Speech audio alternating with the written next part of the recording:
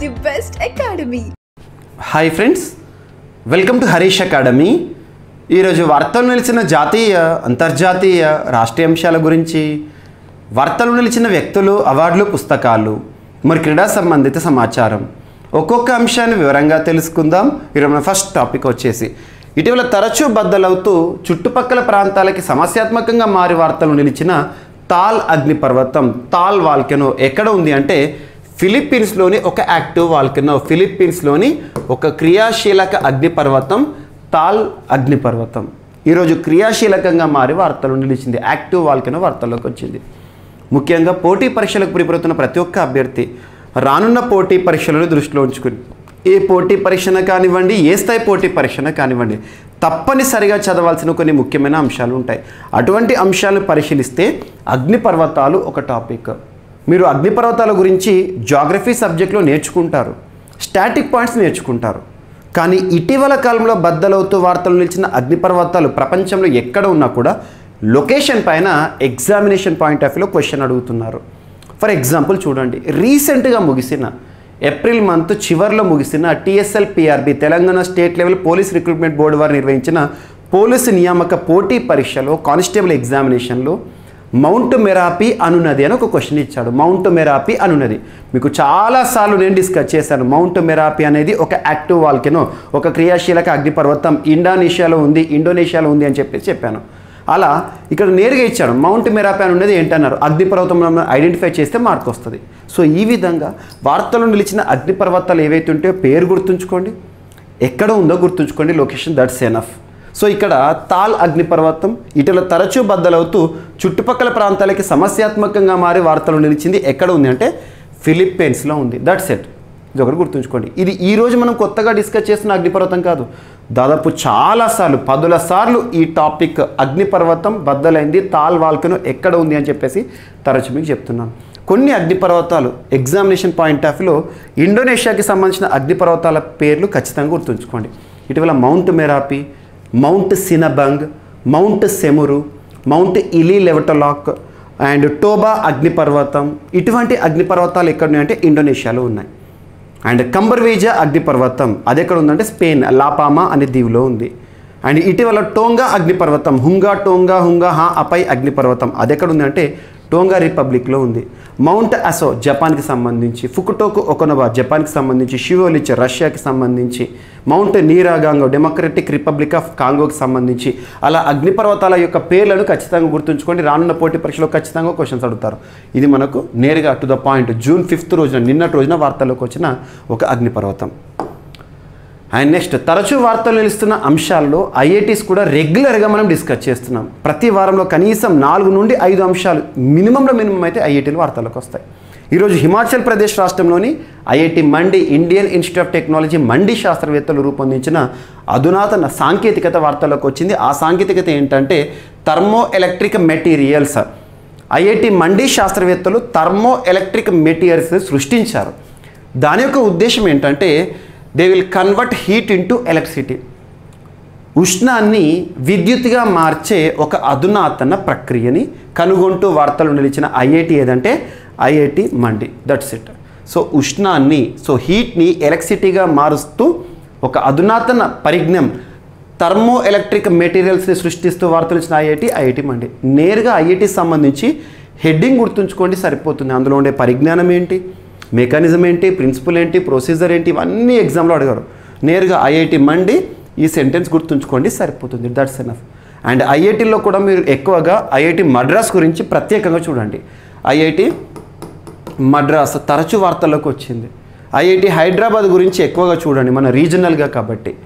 ఈ రెండు ఐఐటీల గురించి సబ్జెక్టు కండిషన్ లాస్ట్ ఒక త్రీ మంత్స్ బ్యాక్ నేను ప్రవీణ్ సార్ క్లాసెస్ యూట్యూబ్ ఛానల్లో ప్రవీణ్ సార్ క్లాసెస్ యూట్యూబ్ ఛానల్లో లైవ్ క్లాస్ని తీసుకున్నాను లైవ్ సెషన్ని తీసుకున్నాను. ప్రవీణ్ సార్ క్లాసెస్ యూట్యూబ్ ఛానల్లో ఒక లైవ్ సెషన్ని ఐఐటీల పైన తీసుకున్నాను. ఒక్కసారి చూడండి.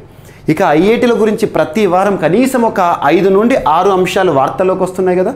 అలా నెలలో చూస్తే సగటున పదిహేను నుండి ఇరవై ఐఐటీలకు సంబంధించిన అంశాలు మీకు కనబడతాయి. మీకు సిఏ త్రీ సిక్స్టీ మ్యాగజిన్లో సిఏ త్రీ సిక్స్టీ మ్యాగజిన్లో మీకు ఈ మ్యాగజిన్ మీరు స్టోర్లో వీడియోలు చూడవచ్చు ఉదాహరణకి జీవీకే స్టడీ సర్కిల్ యాప్ని ఇన్స్టాల్ చేసుకోకపోతే ఇన్స్టాల్ చేసుకోండి. అందులో ప్రత్యేకంగా మీకు సిఏ త్రీ సిక్స్టీ కోర్స్ ఉంటుంది. కరెంట్ అఫైర్స్ సంబంధించి సైంటిఫిక్ అప్రోచ్ ఉంటుంది. ఒకసారి శాంపుల్ వీడియోస్ చూడండి. మీకు ఐఐటీస్లో గురించి సంబంధించి సంపూర్ణ సమాచారం ఒక్క బిట్ కూడా మిస్ అవ్వదు రానున్న పోటీ పరీక్షల్లో. సో జనవరి నుండి అన్ని ఐఐటీల గురించి ఇచ్చాను. ఒకసారి చూడండి. అండ్ నెక్స్ట్ ఈరోజు వార్తలు నిలిచిన ఒక ఒప్పందం. చెన్నై తమిళనాడు కేంద్రంగా పనిచేస్తున్న ఇండియన్ మ్యారిటైమ్ యూనివర్సిటీతో ఇండియన్ నావీ వారు కుదుర్చుకున్న ఒప్పందం. Indian navy Indian maritime university మధ్య కుదిరిన ఒప్పందం వార్తలోకి వచ్చింది. దేనికి సంబంధించి అంటే సాంకేతిక సహకారం విషయంలో ఇండియన్ నావీ వారికి మ్యారిటైమ్ యూనివర్సిటీ వారు ప్రత్యేకమైన సహకారం అందిస్తారు. జస్ట్ ఈ సెంటెన్స్ గుర్తుంచుకోండి చాలా. A memorandum of understanding between Indian navy and Indian maritime university was signed on second June twenty twenty three at New Delhi for technical collaboration గుర్తుంచుకోండి. డైరెక్ట్గా ఈ బిట్ పైన. రీసెంట్గా కొన్ని పోటీ పరీక్షలు అడిగారు. వైమానిక సాంకేతికతకు సంబంధించి లేదా రక్షణపరమైన సాంకేతికతకు సంబంధించి ఎవరు ఎవరితో ఒప్పందాన్ని కుదుర్చుకున్నారు ఇటువంటి అడుగుతారు. సో ఇక్కడ డైరెక్ట్ ఈ సెంటెన్స్ గుర్తుంచుకుంటే that's it and next MS sixty Romeo helicopter maiden landing on INS Vikrant INS Vikrant Indian naval ship Vikrant అన్న?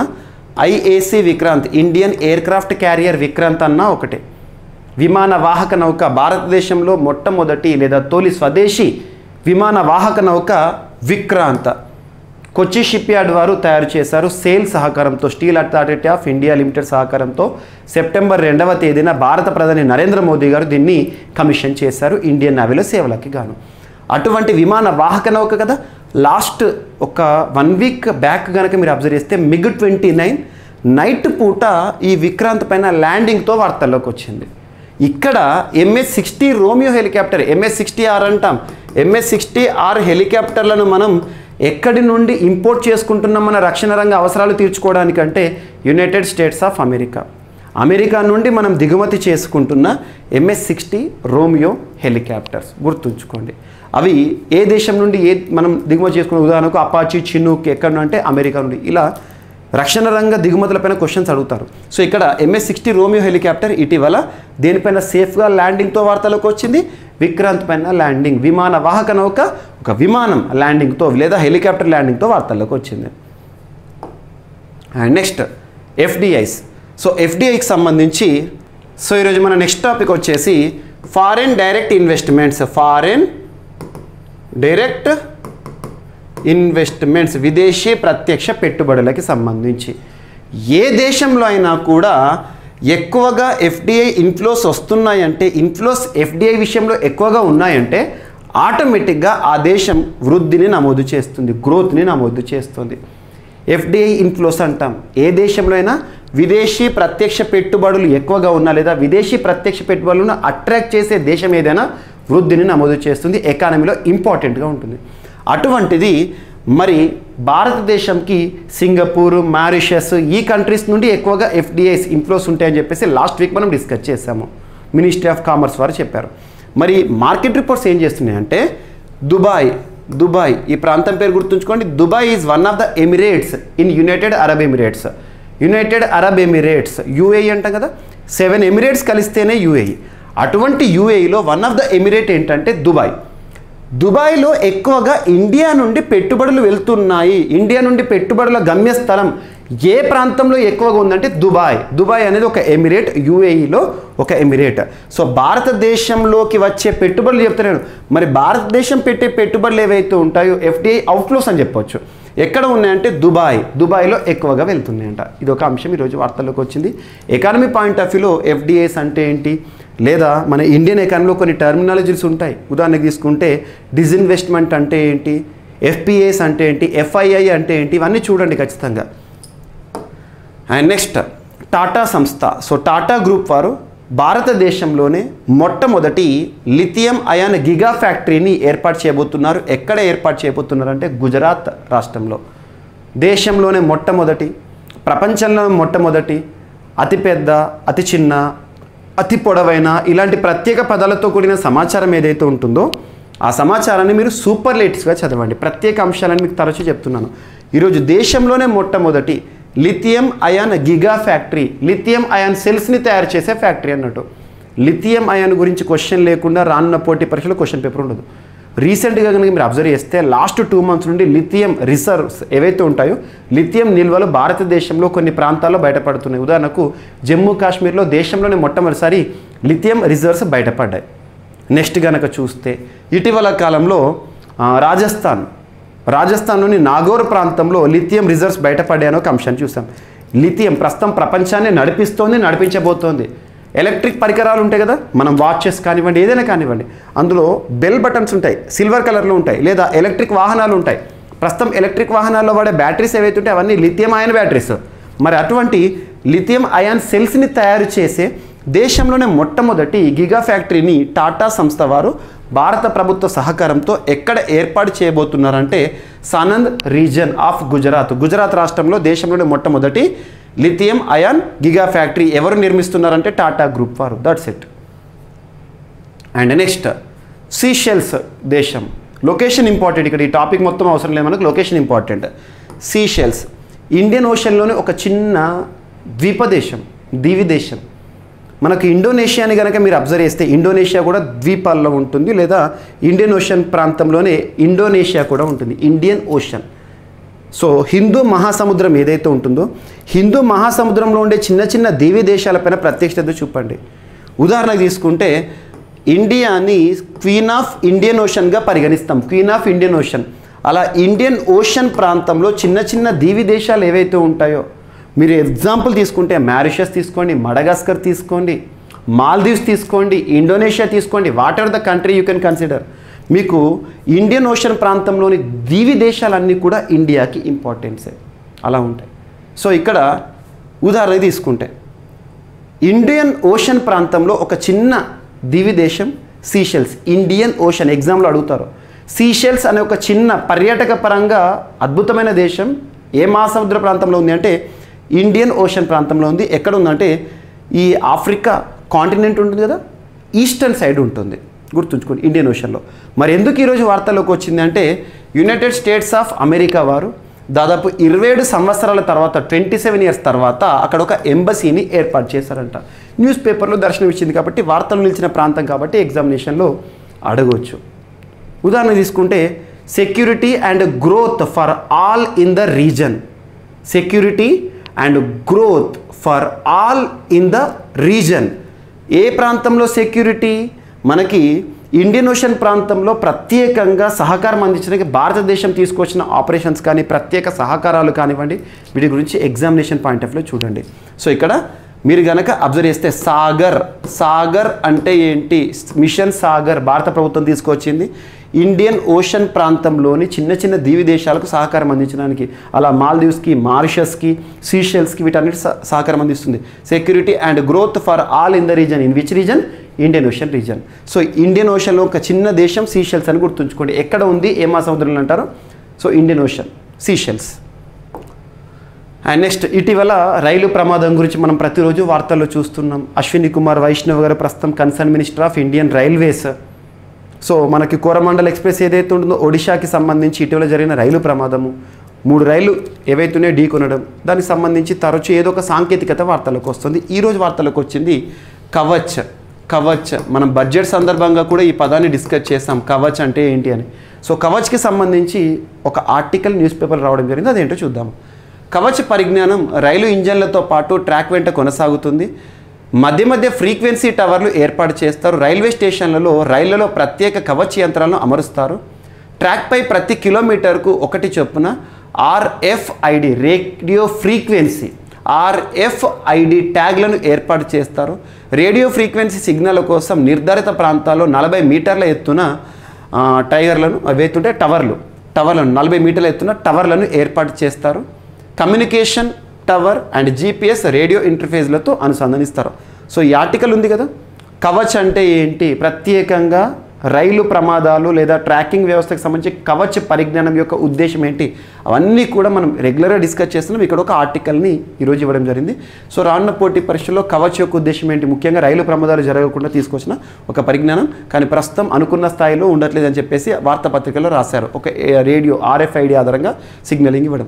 సో ఎలా పనిచేస్తుందంటే రైళ్ళ కదలికను ఎప్పటికప్పుడు అప్డేట్ చేయాలనే సూత్రంపై ఇది చేస్తుంది. అంటే రైళ్ళ కదలికలు అంటే ఏంటి? ఏ ట్రైన్ ఏ ట్రాక్ నుండి వెళ్తుంది? ప్రతి టైం ఎవ్రీ టైం ఇమ్మీడియట్గా అప్డేట్ అవుతుంది అన్నట్టు. సో ఇది ఒకటి గుర్తుంచుకోండి.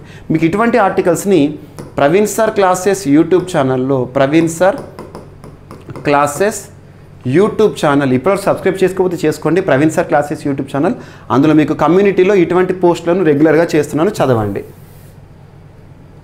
అండ్ నెక్స్ట్ సురక్షిత డిజిటల్ చెల్లింపులకు ఆర్బీఐ మార్గదర్శకాలు అనే అంశం వార్తల్లోకి వచ్చింది. ఆర్బీఐ గైడ్లైన్స్ ముసాయిదా డ్రాఫ్ట్. సైబర్ సెక్యూరిటీ రిస్క్లను సమర్థవంతంగా ఎదుర్కొనేలా డిజిటల్ చెల్లింపులను మరింత సురక్షితం మార్చేలా అధునా లేదా అధికృత అధునాతన అధీకృత non bank payment system ఆపరేటర్లకు PSO non bank payment system ఆపరేటర్లకు reserve bank మార్గదర్శకాల ముజాయితాను రిలీజ్ చేసింది డ్రాఫ్ట్ని రిలీజ్ చేసింది. సైబర్ సెక్యూరిటీ రిస్క్లను గుర్తించడం మదింపు చేయడం సమీక్షించడం ఎదుర్కొనడం తదితర అంశాలను ఇందులో ప్రస్తావించింది. ఇది అంత పెద్దగా ఇంపార్టెంట్ కాదు కాకపోతే పేపర్లో వచ్చింది కాబట్టి ఆర్టికల్ చూడండి. రీసెంట్గా ఆర్బీఐకి సంబంధించి ఉత్కర్ష్ కానివ్వండి ఆర్బీఐకి సంబంధించి ప్రత్యేకమైన కమిటీల వార్తలు నిలిచిన వాటి గురించి ప్రత్యేకంగా చూడండి. ఆర్బీఐ మానిటరీ పాలసీ పైన రెగ్యులర్గా క్వశ్చన్స్ అడుగుతున్నారు.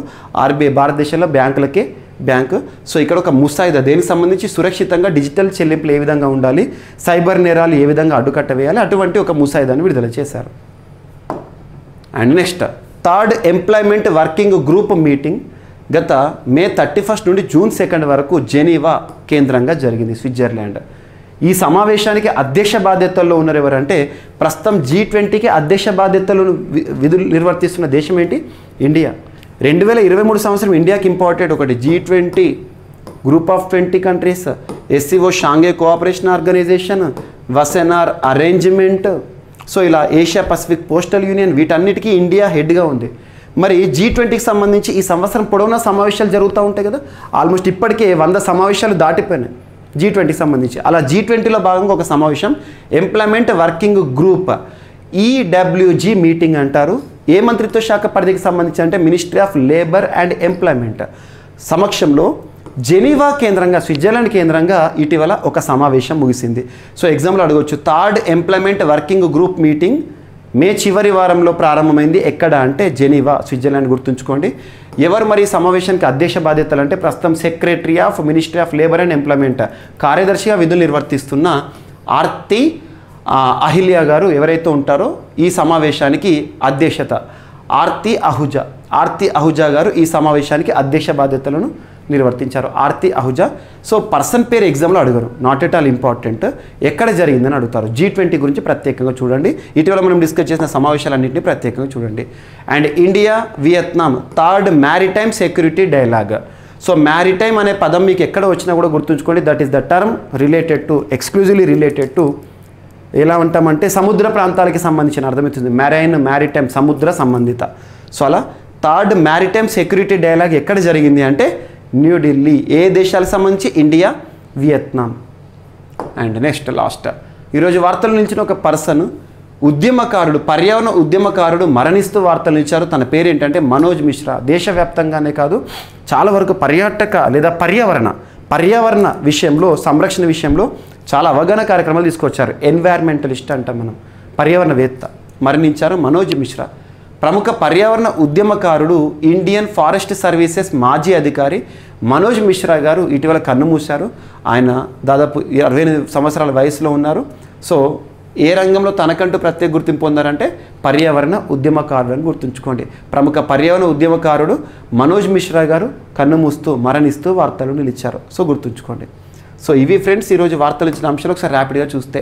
తాల్ అగ్నిపర్వతం ఇటీవల బద్దలవుతూ వార్తలు ఇచ్చింది ఎక్కడ ఉంది అంటే ఫిలిప్పీన్స్కి సంబంధించిన అగ్నిపర్వతం. అండ్ ఐఐటి మండీ శాస్త్రవేత్తలు తీసుకొచ్చిన థర్మో ఎలక్ట్రిక్ మెటీరియల్స్ అనే అంశము. And Indian navy and Indian maritime university మధ్య టెక్నికల్ కొలాబరేషన్ ఒప్పందం జరిగింది. ఎంఎస్ సిక్స్టీ రోమియో హెలికాప్టర్ని విజయవంతంగా ల్యాండ్ చేయడం జరిగింది. ఐఎన్ఎస్ లేదా ఐఎస్సి విక్రాంత్ పైన.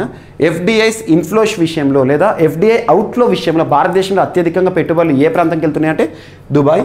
అండ్ నెక్స్ట్ వచ్చేసి టాటా గ్రూప్ వారు గుజరాత్ గవర్నమెంట్ మరియు భారత ప్రభుత్వ సహకారంతో ఎక్కడ లిథియం అయన్ గిగా ఫ్యాక్టరీని ఏర్పాటు చేస్తున్నారంటే గుజరాత్లోని సనంద్ ప్రాంతము.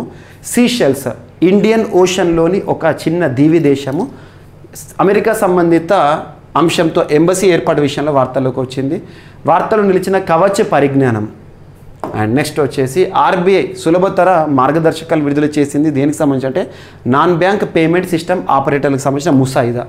So third G twenty employment working group ఎక్కడ జరిగింది అంటే జెనీవా కేంద్రంగా జరిగింది. ఇండియా అధ్యక్షతన. India Vietnam third maritime security dialogue New Delhi వేదికగా ముగిసింది. అండ్ నెక్స్ట్ పర్యావరణ ఉద్యమకారుడు మనోజ్ మిశ్రా గారు కన్నుమూస్తూ వార్తల్లోకి వచ్చారు. సో ఇవి ఫ్రెండ్స్ ఈరోజు వార్తలో నిలిచిన అంశాలు. మిస్లైన అంశాలు ఏమైనా మిగిలిపోతే మాత్రం రేపటి క్లాస్లో జోడించి మళ్ళీ నేర్చుకుందాం రేపు కలుద్దాం. Thank you